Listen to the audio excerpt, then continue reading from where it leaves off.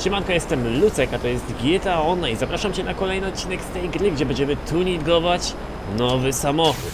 I dzisiaj będzie to dość nietypowy wóz, zresztą jak za każdym prawie razem. Em, I on często znajduje się właśnie w tym miejscu. Ja lubię właśnie grać w ten sposób, że jeśli tuninguję jakiś samochód, to go znajduję. No nie wszystkie samochody da się tak zrobić, bo większość trzeba kupić, bo to są przeważnie drogie samochody. Tak czy inaczej, e, bardzo często w tym miejscu ten samochód się spawnuje. Nie wiem, czy uda mi się wylądować. Woo! Perfekcyjnie. I on się chyba nazywa Rat Loader.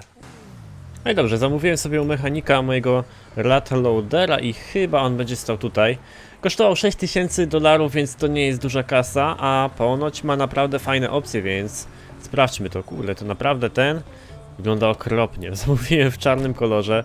Jezu, jak taka ruina... Jak taka ruina może mieć w ogóle jakieś opcje tuningowe, gdzie niektóre nawet zajebiste, jak na przykład ten samochód tutaj, zajebiste samochody jak tamten, nie ma praktycznie opcji. A ty spadaj mi stąd! Kurde, koleś. Co za typ? Nie mógł, nie dał mi przejechać w ogóle. Dobra, wbijamy. Tutaj jest tunel. O Jezu, jak, ty, jak on ma... Nie wiem, okropne hamulce, strasznie. Dobra, zobaczmy. Okej, em, no więc zacznijmy, zacznijmy od komory... Jezus Maria, od komory silnika. Okej, chromowane V8. Wydech. Yy... What? A, to chyba trzeba najpierw usunąć maskę. Maska. Kurde, jakie opcje. Lepsze niż ostatnio w Ubenego. Tam takie coś. Naprawdę. Dobra. Komora silnika. No tutaj możemy dać ten stary silnik. Albo nowy. Woli, wolimy nowy oczywiście. Wydechy. Wow, tak. O, jak z Mad Maxa. Takie coś? Właśnie nie wiem co wybrać. To jest, to jest kozak. Kurde, lubię takie samochody. Dobra, usuń błotniki. No dobra, to już usunięte. A, możemy dać takie. Właśnie nie wiem jakie dać, ale takie są kozackie. Grille. O! O proszę, możemy poprawić grill. Możemy w ogóle usunąć grill. Możemy dodać taki grill. Albo usunąć. Ło! Nie, ten mi się podoba. E, neony? Nie wiem czy tu neony. Do lat, lat stylu raczej nie pasują neony. Kurde, jakie to drogie jest. Eee, dobra, na razie nie. Lakierowanie. Zawieszenie. Można zrobić glebę? O kurde, konkretne zawieszenie.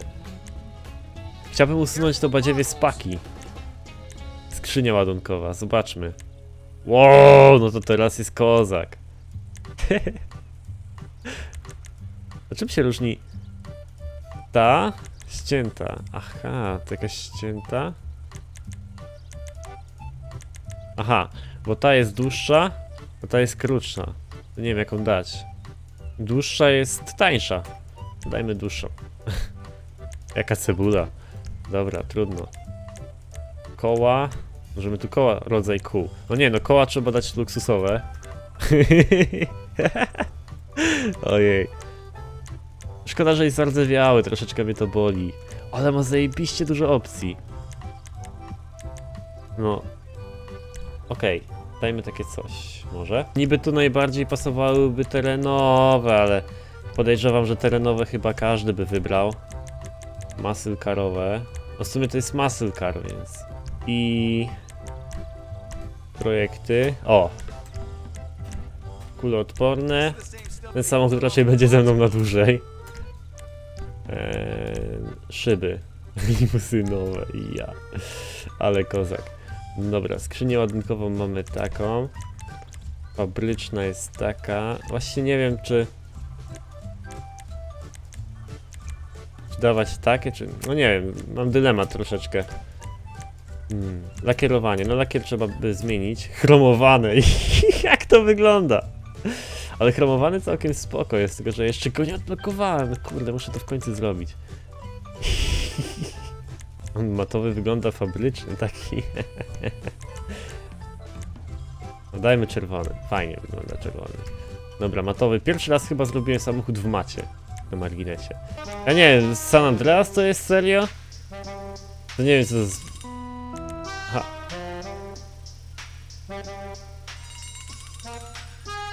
No dobra, może być. może być ze względu na te takie e, typowe dźwięki, e, jak to się nazywa, sprayu. No i zobaczmy, mamy sobie... Nie wiem właśnie czy skrócić tę pakę. Ale wygląda fajnie. O kurde, ale groźnie wygląda z boku.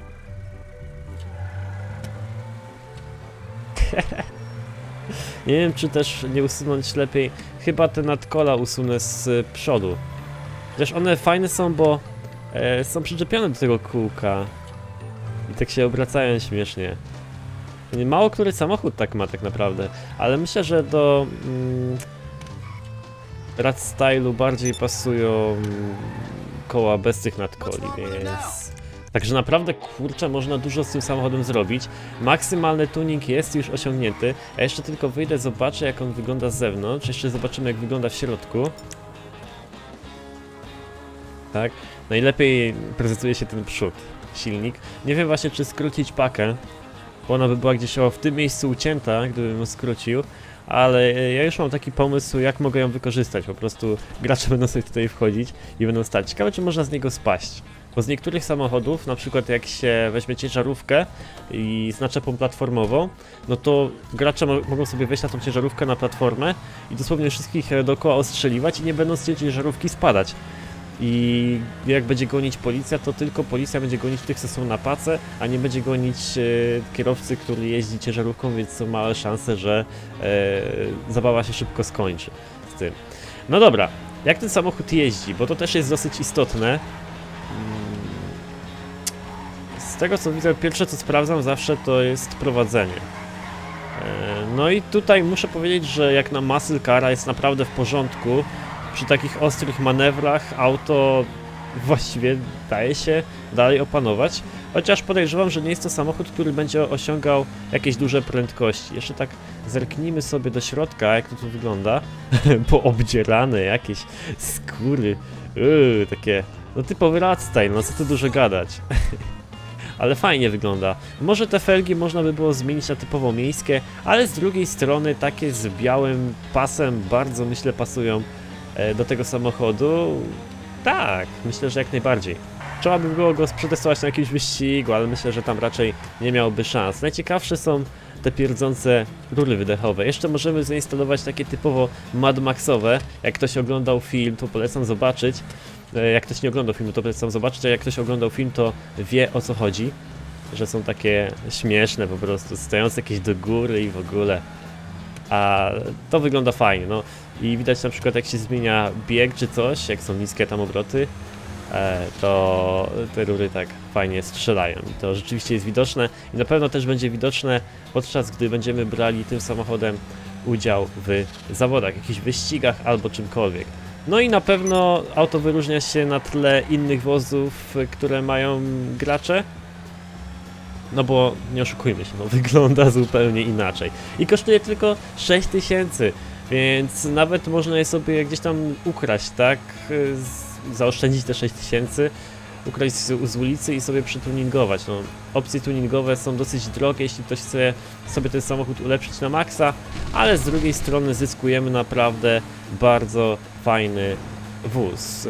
Raczej nie jest to samochód, który będzie fajnie pokonywał tereny. E, tak się zastanawiam, czy nie lepiej by było usunąć ten neon, aby dodać jemu troszeczkę takiego groźniejszego mm, wyglądu. Ale z drugiej strony będzie się fajnie świeciło w nocy, więc to też jest jakiś tam dodatkowy atut. No, piszcie w komentarzach, co myślicie o tym samochodzie. Moim zdaniem bardzo fajna propozycja do zabawy w GTA Online, aby sobie potuningować w miarę przystępnej cenie. Mm, No i zapraszam do obejrzenia kolejnych tuningów z GTA. Trzymajcie się na razie, papa. Pa. Kuźwa! Jedź!